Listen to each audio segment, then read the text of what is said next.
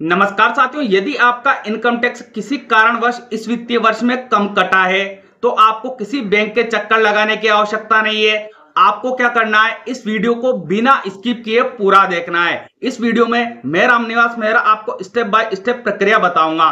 जिसको यदि आपने फॉलो किया तो निश्चित ही आप कैपेबल हो जाएँगे स्वयं आपका इनकम टैक्स जमा करने में। तो आप वीडियो को बिना स्किप किए पूरा अवश्य देखिएगा। साथ में यदि आप चैनल पर नए हैं तो चैनल को सब्सक्राइब करके घंटी वाले बेल आइकन को दबाकर मुझे मोटिवेट अवश्य कीजिएगा। और यदि आप इस वीडियो को अन्य प्लेटफॉर्म पर देख रहे हैं तो चैनल को फॉलो करना ना भूलिएगा। तो चलिए साथियों, जानते हैं इनकम टैक्स को स्वयं जमा करने की प्रक्रिया।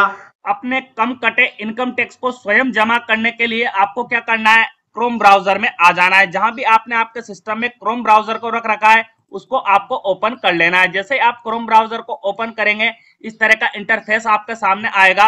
अब आपको यहाँ एक सर्च बार मिलेगी। यहाँ पर क्लिक कर लेना है और यहाँ पर आपको लिखना है ई फिलिंग पोर्टल ये लिखकर आपको सर्च कर लेना है। जैसे आप ई फीलिंग पोर्टल लिखकर सर्च करेंगे इनकम टैक्स डिपार्टमेंट का जो पोर्टल है, उसकी वेबसाइट आपके सामने सबसे ऊपर आएगी तो आपको क्या करना है, इस वेबसाइट पर क्लिक कर लेना है। जैसे आप यहाँ पर क्लिक करेंगे, आपके सामने इस तरह का पेज ओपन होकर आएगा। तो आपको यहाँ लॉगिन करने के लिए कहा जाएगा, साथियों, यदि आपको ये पेज नहीं मिलता है, आपके सामने लॉगिन पैनल नहीं आता है तो ऐसी कंडीशन में आपको क्या करना है, इस वीडियो को पूरा देख लेना है, प्रक्रिया समझ लेनी है, उसके बाद आपको डिस्क्रिप्शन बॉक्स में जाना है वहाँ मैंने आपको डायरेक्ट लिंक उपलब्ध करवाया जैसे आप लिंक पर क्लिक करेंगे, आपके सामने इस तरह का पेज ओपन होकर आ जाएगा। अब आपको यहाँ पर क्या करना है? अपने पेन नंबर जो भी है, उसे यूज़र आईडी के रूप में एंटर कर लेने जैसे आप अपने पेन नंबर यहाँ पर एंटर करेंगे, यहाँ आपको कंटिन्यू का ऑप्शन एक्टिव मोड में मिल जाएगा। तो आपको यहाँ कंटिन्यू पर क्लिक कर लेना है। अब आपके सामने अगला पेज ओपन होकर आ जाएगा। तो आपको क्या करना है? पेज को थोड़ा स्क्रॉल अप कर लेना है। अब आपको यहाँ पर आपने जो भी आपके ई फिलिंग पोर्टल के लॉगिन पासवर्ड डिज़ाइन कर रखे हैं, उन पासवर्ड को आप यहाँ एंटर कर लीजिएगा। और यदि आप यहाँ पासवर्ड देखना चाहते हैं तो आपको यहाँ आई बटन दिया गया है। आप यहाँ क्लिक करके जो पासवर्ड आपने यहाँ एंटर किए हैं, उन्हें आसानी से देख भी सकते हैं। यदि आपने सही पासवर्ड एंटर किया है तो आपको क्या करना है, यहाँ कंटिन्यू का ऑप्शन आपको एक्टिव मोड में मिलेगा।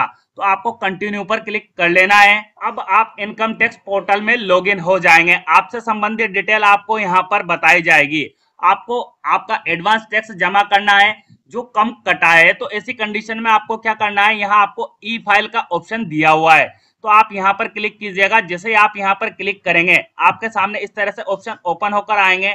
तो यहाँ आपको एक ऑप्शन मिलेगा ई पे टैक्स का। तो आपको इस ऑप्शन पर क्लिक कर लेना है। जैसे ही आप यहाँ पर क्लिक करेंगे अब अगला पेज आपके सामने इस तरह से ओपन होकर आ जाएगा। तो आपको यहाँ पर देखना है, यहाँ आपको ऑप्शन दिया हुआ है न्यू पेमेंट का तो आपको इस ऑप्शन पर क्लिक कर लेना है। जैसे आप यहाँ पर क्लिक करेंगे, आपके सामने यहाँ कई अन्य ऑप्शन ओपन होकर आ जाएँगे। तो यदि आप मार्च लास्ट से पहले अपना इनकम टैक्स जमा करवाना चाहते हैं, जो आपका इनकम टैक्स कम जमा हुआ था तो आपको क्या करना है, पहले नंबर का ऑप्शन सेलेक्ट करना है। एडवांस टैक्स हंड्रेड और आपका असेसमेंट टैक्स 300 हेड में जाएगा। ये वाला ऑप्शन आपको सेलेक्ट कर लेना है। जैसे आप इस ऑप्शन को सेलेक्ट करेंगे, आपके सामने इस तरह की इंफॉर्मेशन ओपन होकर आएगी तो आपको यहाँ सबसे पहले असेसमेंट ईयर सेलेक्ट करने के लिए कहा जाएगा। तो आपको यहाँ पर क्लिक करना है और यहाँ से आपको असेसमेंट ईयर सही सेलेक्ट करना है। आपको ये कैसे पता पड़ेगा कि आपका जो असेसमेंट ईयर है, वो सही है या नहीं है? तो जो भी आपने इनकम टैक्स गणना प्रपत्र तैयार किया है, आप उस पर ऊपर देखिएगा, उस पर आपको असेसमेंट ईयर मिल जाएगा। तो आप यहाँ से असेसमेंट ईयर सेलेक्ट कर लीजिएगा। जैसे आप असेसमेंट ईयर यहाँ सेलेक्ट करेंगे, आपको फाइनेंशियल ईयर यहाँ बताया जाएगा। तो ये इंफॉर्मेशन भी आपको आपके इनकम टैक्स गणना प्रपत्र पर मिल जाएगी कि फाइनेंशियल ईयर कौन से का आप इनकम टैक्स जमा करना चाहते हैं, वो आपको आपके इनकम टैक्स गणना प्रपत्र पर मिल जाएगा। उसके बाद असेसमेंट ईयर भी आपको आपके इनकम टैक्स गणना प्रपत्र पर मिल जाएगा। तो आपको यहाँ ध्यान रखना है असेसमेंट ईयर सही सेलेक्ट करना है। उसके बाद टाइप ऑफ़ पेमेंट आपसे सेलेक्ट करने के लिए कहा जाएगा। तो आपको यहाँ पर क्लिक करना है। आप मार्च लास्ट से पहले आपका इनकम टैक्स जमा कर रहे हैं। तो ऐसी कंडीशन में आपको क्या करना है? यहाँ ऑप्शन दिया हुआ है एडवांस टैक्स हंड्रेड का। तो आपको ये वाला ऑप्शन सेलेक्ट कर लेना है। अब आपको यहाँ पर कंटिन्यू का ऑप्शन एक्टिव मोड में मिल जाएगा। तो आपको यहाँ कंटिन्यू पर क्लिक कर लेना है। जैसे आप कंटिन्यू पर क्लिक करेंगे, आपके सामने इस तरह की इंफॉर्मेशन ओपन होकर आएगी। तो आपका जो भी टैक्स बचा है जितना टैक्स आपको जमा करना है, उस टैक्स की राशि को आप यहाँ एंटर कर लीजिएगा। जैसे मैंने एग्ज़ाम्पल के रूप में यहाँ एक रुपया लिखा है, परंतु जो भी आपका टैक्स बचा है, वो आपको यहाँ पर लिख देना है। बाकी आपको इन सभी इंफॉर्मेशन को खाली छोड़ना है, फिर आपको यहाँ आना है नीचे की ओर। यहाँ आपको कंटिन्यू का ऑप्शन देखने को मिलेगा तो आप कंटिन्यू पर क्लिक कर लीजिएगा। जैसे आप कंटिन्यू पर क्लिक करेंगे, अब आपके सामने इस तरह की इंफॉर्मेशन ओपन होकर आएगी। तो अब आप पेमेंट कैसे करना चाहते हैं? वो इन्फॉर्मेशन आपको यहाँ देनी होगी। तो यदि आप नेट बैंकिंग से पेमेंट करना चाहते हैं तो ये वाला ऑप्शन सेलेक्ट कर लीजिएगा। उसके बाद आपको यहाँ से बैंक को सिलेक्ट करना है। और यदि आप डेबिट कार्ड से अपना पेमेंट करना चाहते हैं तो आपको डेबिट कार्ड का ऑप्शन भी यहाँ अवेलेबल करवाया गया है। आप डेबिट कार्ड पर क्लिक करके अपनी बैंक सेलेक्ट करके जो जो भी इंफॉर्मेशन आपसे मांगी जाती है, वो इन्फॉर्मेशन आप प्रोवाइड करवा दीजिएगा। आपका टैक्स जमा हो जाएगा। परंतु सबसे सिंपल प्रोसेस में आपको यहाँ पर बताता हूँ, यहाँ पर आपको दिया हुआ है payment gateway including UPI and credit card का। तो आप ये वाला ऑप्शन सेलेक्ट कीजिएगा। जैसे आप ये वाला ऑप्शन सेलेक्ट करेंगे, वापस आपको यहाँ बैंक सेलेक्ट करने के लिए कहा जाएगा। तो आपको क्या करना है? आपकी जो भी बैंक है, जिस बैंक से आप पेमेंट करना चाहते हैं, उस बैंक को यहाँ से सेलेक्ट कर लीजिएगा। उसके बाद आपको यहाँ कंटिन्यू का ऑप्शन मिलेगा। तो आप कंटिन्यू पर क्लिक कर लीजिएगा। आपके सामने इस तरह की इंफॉर्मेशन अगली ओपन होकर आ जाएगी। आपका कितना टैक्स जमा होने वाला है, वो सारी इंफॉर्मेशन आपको यहाँ बता दी जाएगी। अब आपको क्या करना है, यहाँ ऑप्शन दिया हुआ है पे नाउ का। तो आपको पे नाउ पर क्लिक कर लेना जैसे पे नाउ पर आप क्लिक करेंगे, आपके सामने टर्म्स और कंडीशन ओपन होकर आएगी। तो आप चाहें तो इसे रीड कर लीजिएगा।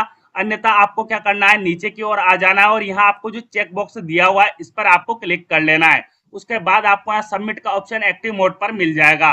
तो आपको सबमिट पर क्लिक कर लेना है। जैसे आप सबमिट पर क्लिक करेंगे, अब आपके सामने इस तरह का पेज ओपन होकर आएगा। तो आपको क्या करना है? यूपीआई के थ्रू आपका पेमेंट करना है। तो आपको यहाँ यूपीआई का ऑप्शन दिया हुआ है। इसके सम्मुख आपको यहाँ पर एरो का जो निशान दिया हुआ है, इस पर क्लिक करना है। अब आपके सामने इस तरह की इन्फॉर्मेशन ओपन होकर आएगी, जिसमें आपको आपके पेमेंट की डिटेल बताई जाएगी। अब आपको नीचे की ओर आ जाना है। यदि आप पेमेंट जो है वीपीए के द्वारा करना चाहते हैं तो आप यहाँ पर क्लिक करेंगे और आप यदि क्यूआर कोड के थ्रू पेमेंट करना चाहते हैं तो आपको यहाँ पर क्लिक कर लेना है। अब आपके सामने इस तरह से क्यूआर कोड ओपन कर दिए जाएँगे। आपको कितनी राशि जमा करनी है, वो राशि आपको यहाँ पर बताई जाएगी। तो जो भी आप पेमेंट का ऐप इस्तेमाल करते हैं, जैसे फ़ोन पे हो गया, गूगल पे हो गया, या अन्य कोई ऐप आप इस्तेमाल करते हैं, और आप किसी भी मर्चेंट को क्यूआर कोड स्कैन करके पेमेंट करते हैं, उसी तरह आपको क्या करना है ये जो क्यू आर कोड आपको यहाँ दिखाई दे रहे हैं, इनको आपकी ऐप के माध्यम से स्कैन करना है। जैसे मैं अभी आपको स्कैन करके बताता हूँ, मैंने स्कैन कर लिया है। उसके बाद जब आप स्कैन करेंगे तो राशि भी आपके सिस्टम में आपको दिखाई देगी।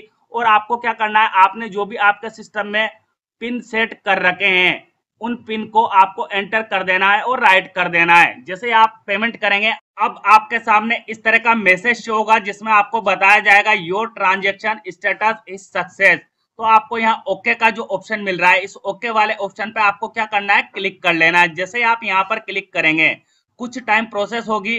अब आपके सामने इस तरह की इंफॉर्मेशन ओपन होकर आएगी। सब दूर आपको यहाँ राइट का निशान दिखाई देगा, आपको यहाँ लिखा मिलेगा the challan payment is successful आप यदि आपके चालान को डाउनलोड करना चाहते हैं और साथ ही आपको डाउनलोड करके भी रखना होगा। तो आपको यहाँ पर डाउनलोड का ऑप्शन दिया हुआ है। तो आप यहाँ डाउनलोड पर क्लिक कर लीजिएगा। जैसे आप डाउनलोड पर क्लिक करेंगे, कुछ टाइम में आपका चालान जो है वो जनरेट होकर आपके सिस्टम में पीडीएफ के रूप में डाउनलोड हो जाएगा। अब आप अपने पेमेंट की और डिटेल देखना चाहते हैं तो आपको क्या करना है? पेज को स्क्रॉल अप कर लेना है। जैसे आप पेज को स्क्रॉल अप करेंगे, आपको यहाँ संपूर्ण पेमेंट की डिटेल बता दी जाएगी। अब आपको मैंने कहा है कि इस चालान को क्या करना है आपको डाउनलोड करके रखना है तो फिर से आपको यहाँ नीचे भी एक डाउनलोड का ऑप्शन देखने को मिलेगा। तो आप यहाँ पर क्लिक कर लीजिएगा जैसे आप यहाँ पर क्लिक करेंगे ये जो चालान है आपके सिस्टम में डाउनलोड होकर आ जाएगा। अब आप इस चालान को देखना चाहते हैं तो आप यहाँ पर क्लिक कीजिएगा जैसे आप यहाँ पर क्लिक करेंगे इनकम टैक्स डिपार्टमेंट की ओर से चालान आपके सामने ओपन होकर आ जाएगा। तो आपको क्या करना है इस चालान की प्रिंट आउट लेकर आपके पास रखनी है। उम्मीद करता हूँ साथियों, जो वीडियो में मैंने आपको प्रक्रिया बताई है, वह आपके लिए लाभकारी सिद्ध होगी। यदि वीडियो आपको पसंद आया हो तो वीडियो को लाइक अवश्य कीजिएगा, साथ में इस वीडियो को हमारे सभी साथियों तक पहुँचाने का कष्ट कीजिएगा, ताकि आपकी तरह हमारे अन्य साथियों का कार्य भी आसान हो जाए।